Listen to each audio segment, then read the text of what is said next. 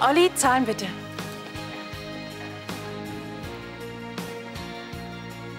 Alles okay?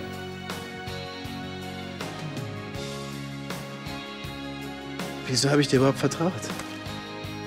Es tut mir leid. Ich, ich verspreche dir, dass das... Ja, ganz sicher. Das wird es garantiert nicht. Was meinst du denn damit? Ich will dich hier nie wieder sehen.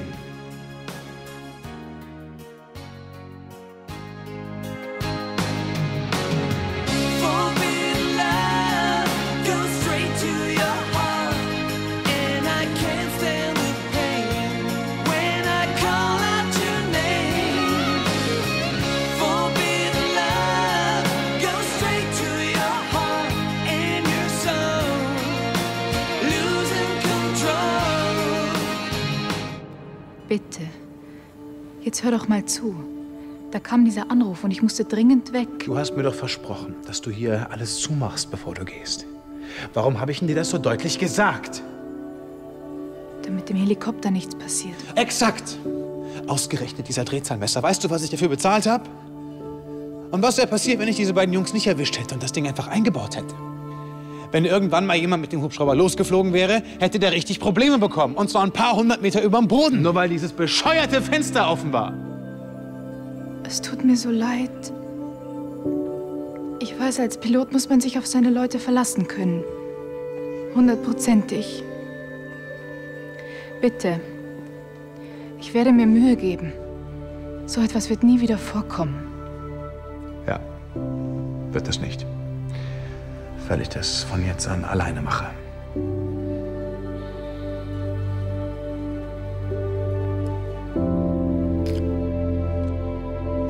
Jawohl.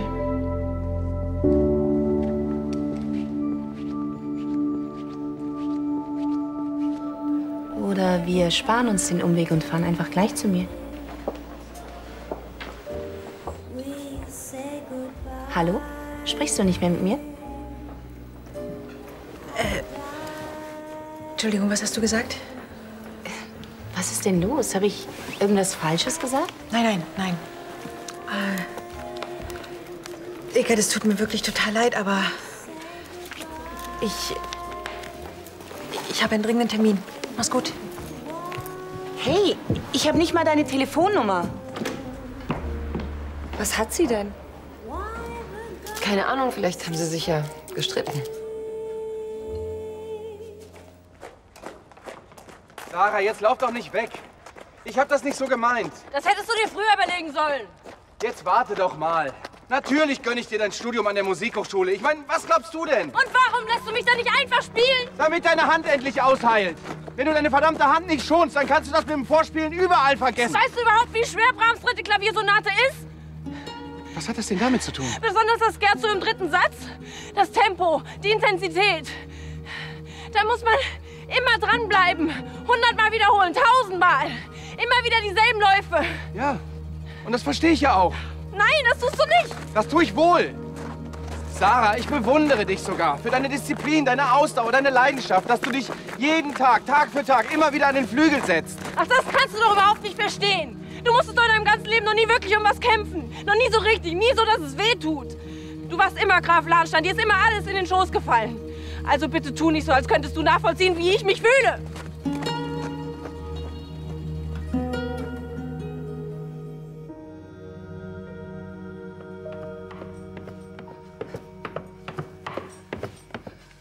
Gräfin. Ja. Ich habe Sie vorhin zufällig im Schneiders gesehen. Was war denn los? Wieso? Weil Sie so plötzlich aufgebrochen sind. Ich hatte einen Termin. Ja, sicher. Das kann schon mal passieren, wenn man so im Business steckt. Sonst noch was?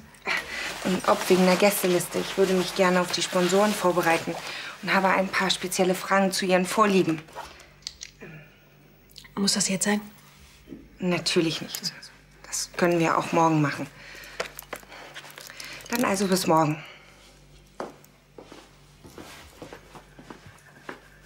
Schlafen Sie gut. Gut schlafen. Wie denn?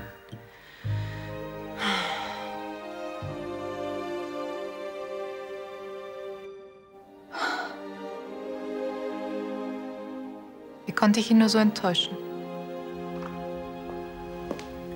Hier haben Sie sich versteckt. Ich habe Sie schon überall gesucht. Gibt es hier keinen Kerker, in den man mich einmauern kann? So schlimm. Was ist passiert? Es ist vorbei. Er will mich nicht wiedersehen. Dass das auf Dauer nicht gut geht, war von Anfang an klar. Ich habe es Ihnen gesagt. Deutlich genug. Aber dass es so schnell vorbei sein muss. Dabei ist alles meine Schuld, wenn ich dieses verdammte Fenster nicht offen gelassen hätte. Verzeihung. Welches Fenster? Sie hatten recht. Sie werden darüber hinwegkommen. Ich werde ihn nie wiedersehen. Dieses verdammt vermaledeite Fenster. Und deswegen regst du dich so auf? Findest du das nicht ein bisschen übertrieben? Nein. Nicht, wenn es in meinem Hangar passiert. Nicht, wenn es um meinen Hubschrauber geht. Wir sind doch alle nur Menschen, Gregor. Ja, ja. Amen. Ich habe alles ausgemacht. Bis morgen. Ciao. Ja, ciao. Sie hat ihre Chance gehabt. Sie hat sie vermasselt. Sie hat vergessen, ein Fenster zuzumachen. Ja, du hast ja gesehen, wohin das führt. Trotzdem. Trotzdem, was? Was? Was willst du mir sagen? Du hast zu heftig reagiert, als ob sie es extra gemacht hätte. Also gib ihr noch eine Chance.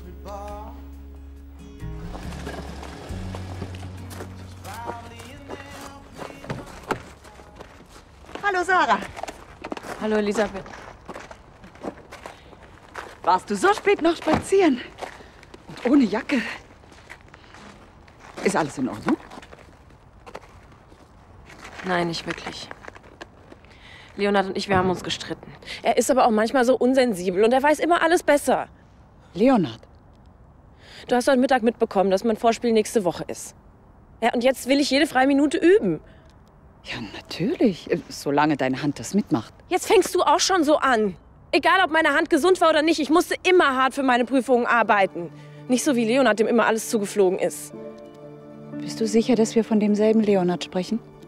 Ich kenne nur einen. Ich auch. Aber dem ist überhaupt nicht immer alles nur so zugeflogen. Ganz im Gegenteil. Wieso? Leonard wollte schon immer Arzt werden und das gegen den Willen seines Vaters. Johannes hat alles daran gesetzt, ihn davon abzubringen. Ich weiß, aber. Er hat keine Möglichkeit ausgelassen, ihm Steine in den Weg zu legen. Aber Leonard hat gekämpft und er hat sich durchgesetzt. Ich glaube, ich habe ganz schön überreagiert. Ich habe ihm ganz schön harte Sachen an den Kopf geworfen.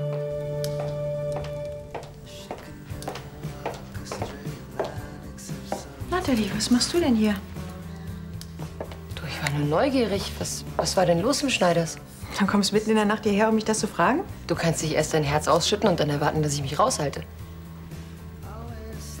Du bist wegen ihr abgehauen, stimmt's? Wegen wem? Oh Mann, Carla, du weißt genau, wen ich meine. Kaum betritt Stella des Schneiders, ergreifst du die Flucht. Das eine hat doch mit dem anderen nichts zu tun. Nein? Warum sollte ich vor ihr weglaufen?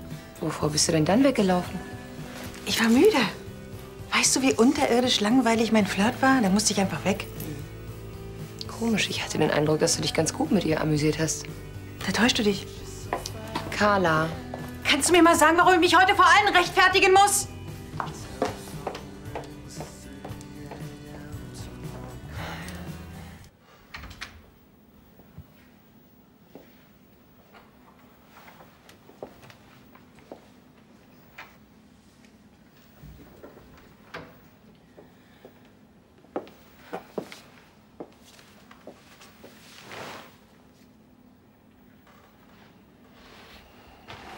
Ich dachte schon, du übernachtest im Park. Hast du mich erschreckt? Ich dachte, du schläfst schon. Hör mal, Aber das es tut mir leid. Ich- dass ich... Du zuerst. Das könnte dir so passen. Wie gesagt, es tut mir leid. Ich, ich habe dich behandelt wie ein kleines Kind. Ich schätze mal, du weißt am besten, was du deiner Hand zumuten kannst und was nicht. Deswegen Vergiss einfach, was ich gesagt habe, okay? Aber nur, wenn du vergisst, was ich gesagt habe. Von wegen, dass dir immer alles in den Schoß gefallen ist und so, das war kompletter Blödsinn. Es ist nur so. Es ist nur so, dass ich wahnsinnige Angst habe vor der Zukunft. Und was passiert, wenn ich meine Prüfung verpatze, dass mein Traum zerplatzt? Weißt du, ich habe mein ganzes Leben lang auf diesen einen Moment hingearbeitet. Die Abschlussprüfung am Musikkonservatorium. Und dann. Ich wollte immer Pianistin werden, Leonhard. Nichts anderes. Ich weiß genau, was du meinst. Ich habe auch immer bloß ein Ziel verfolgt. Ich wollte immer Arzt sein. Was hättest du getan, wenn daraus nichts geworden wäre? Ganz ehrlich? Keine Ahnung. Eben.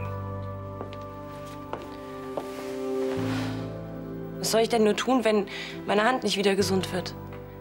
Wenn ich nicht mehr spielen kann, dann stehe ich vor dem Nichts. So weit wird es nicht kommen. Ich bin mir ganz sicher, dass du deine Prüfung bestehen wirst. Du glaubst an mich? Natürlich glaube ich an dich. Wenn ich nicht an dich glauben kann, an wen sonst?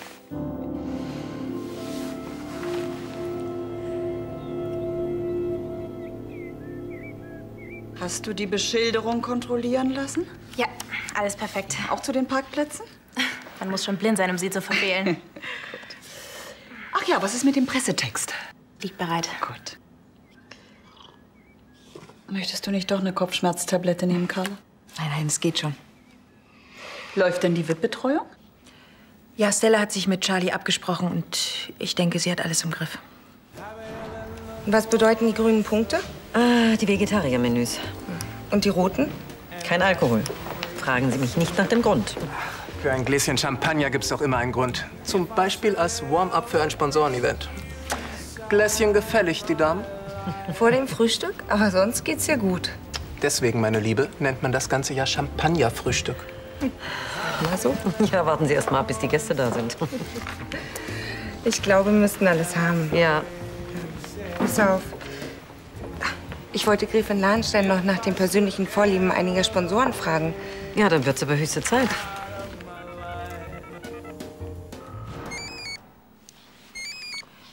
Das ist sie. Guten Morgen, Stella.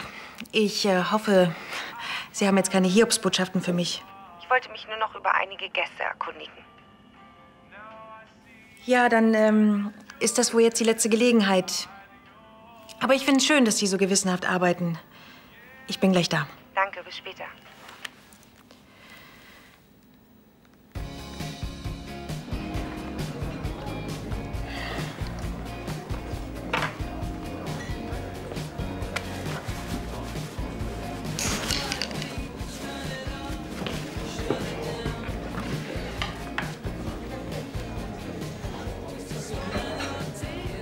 Ist das denn?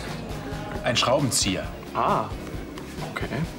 Und den trägst du die ganze Zeit mit dir rum, damit er dir nicht geklaut wird? Soll ich vielleicht alle Fenster schließen? Es gibt nicht viele, die damit umgehen können. Frauen schon gar nicht. Ja, eins dieser seltenen Exemplare musstest du ja unbedingt vertreiben. Quatsch nicht, oder? Machen wir einen Kaffee. Ziemlich schade, dass du sie in die Wüste geschickt hast. Wird jetzt ganz schön einsam in deinem Hangar. Ich arbeite eh viel lieber alleine. Auch in den Pausen? Halt's Maul. Ein Drehzahlmesser. Ja. Wie schnell könntest du so etwas besorgen? Für eine 47er, ja genau. Großartig. Danke. Auf Wiederhören. Luise, ich kann sehr gut verstehen, aber Sie tun sich damit keinen Gefallen. Was können Sie verstehen?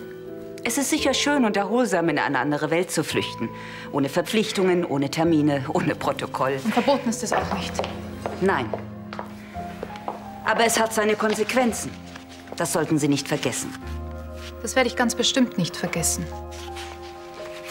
Und dass Sie verlobt sind. Ich habe im Hangar einen Fehler gemacht. Und den möchte ich wieder gut machen. Mehr nicht. Vielleicht nimmt Gregor meine Entschuldigung ja doch an.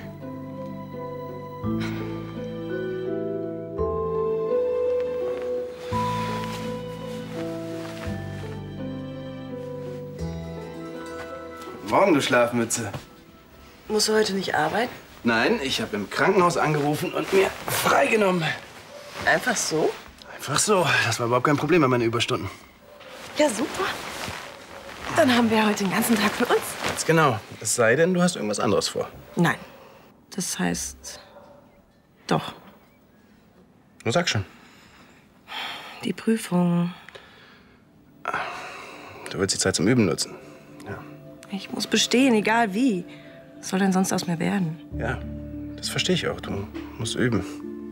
Und was ist mit meiner Hand? Das ist der eigentliche Grund, warum ich mir freigenommen habe. Ich dachte, du schonst sie heute vielleicht mal und wir unternehmen was. Sarah, ich verspreche dir hoch und heilig, ich lasse dich danach bis zu deiner Prüfung in Ruhe. Du kannst so viel üben und proben, wie du willst. Krieg ich das schriftlich? Mit Brave und Segel. Na, wenn das so ist, dann gehöre ich heute nur dir. Hm. Sarah. Na hör mal, noch mal. Ich, ich bin ein verheirateter Mann. Ach so, und deshalb macht dir das jetzt weniger Spaß? Nein, nein, das nicht, aber Intensität und Leidenschaft, die lassen da schon nach. Das ist in der Ehe ganz normal. Ich verlange die Scheidung. Komm her. Hier ist gut. Gut. Wo bleibt sie denn bloß? Sie meinen Carla? Hm. Viel Zeit bleibt uns ja nicht mehr. Nee, jetzt machen Sie sich mal keine Sorgen. Wenn sie gesagt hat, dass sie kommt, dann wird sie schon kommen. Ne? Ja, aber am liebsten, bevor die Veranstaltung hier anfängt. Stella, jetzt setzen Sie sich mal in Ruhe hin und trinken einen Kaffee. Was darf sein? Espresso, Latte Macchiato, Cappuccino? Vielen Dank. Ich komme später noch mal drauf zurück. Gott sei Dank. Ich dachte schon, Sie schaffen es nicht mehr rechtzeitig. Der Verkehr.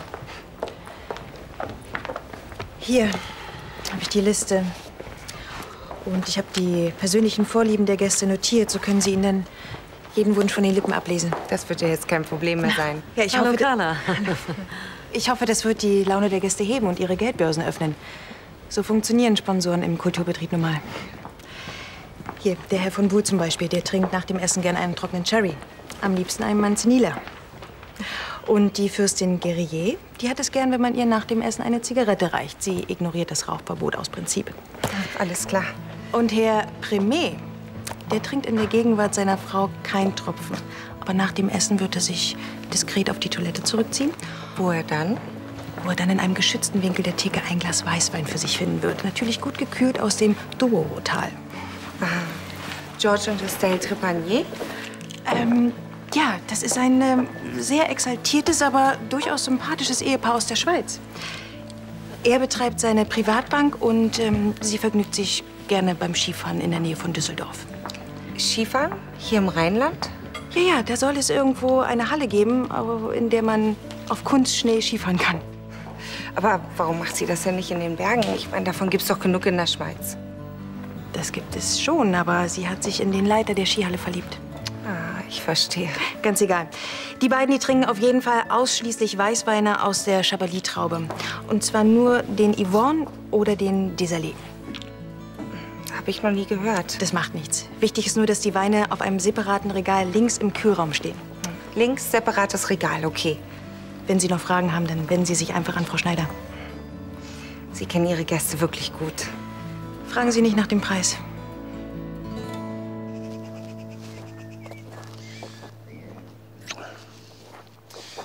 Also, ich fand unser Frühstück im Bett eigentlich schon recht vielversprechend.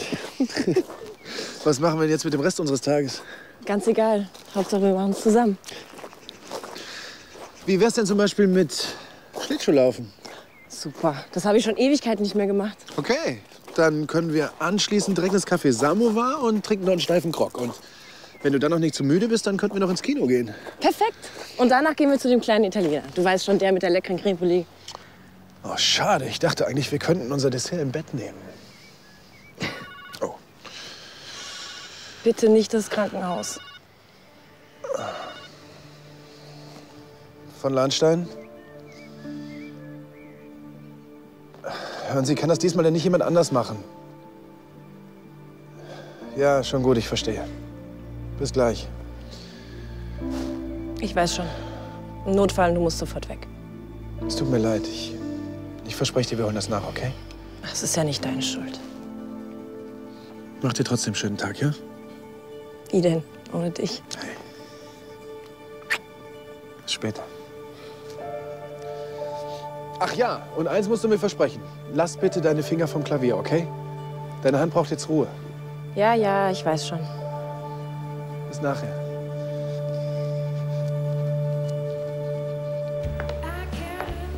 Ach ja, eins noch. Frau Rühmkorff, die verlegt gerne mal ihre Brille. Danke. Und allein wäre ich da nicht drauf gekommen. Einige Situationen hätten sonst peinlich werden können. Ja, das war schon. Ging ja fix. Dann werde ich mit Charlie noch einen Espresso trinken. Darf es auch ein Champagner sein? Ich dachte, wo du schon mal da bist, kannst du gleich den Aperitif aussuchen. Ich muss noch mal in die Holding, das geht nicht. Na, jetzt lüg nicht. Eben wolltest du noch einen Espresso mit mir trinken, oder? Ja, dann bleibt mir wohl nichts anderes übrig. So. Ach nee, auf einmal. Von mir wolltest du keinen. Erstens habe ich inzwischen gefrühstückt und zweitens ist das rein dienstlich. Hm, toller Job. Tauschen wir? Auf keinen Fall. Ein 87er Baron Fabrice Herret, Grand Cru, gereift und voll auf der Höhe. Cheers.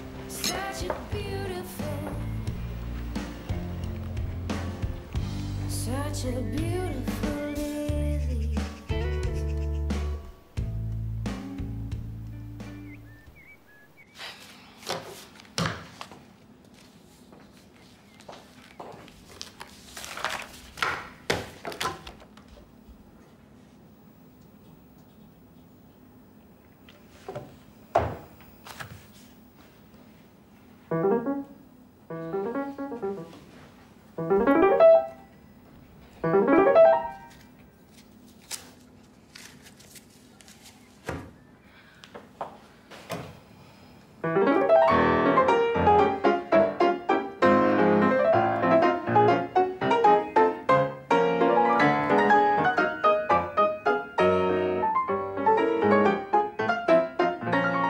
Und der kommt da vorne an die Bar.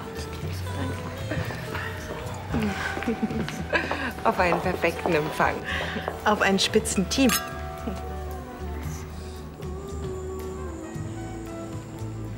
Ich meine uns beide. Wir haben das wirklich richtig gut hingekriegt. Finden Sie nicht?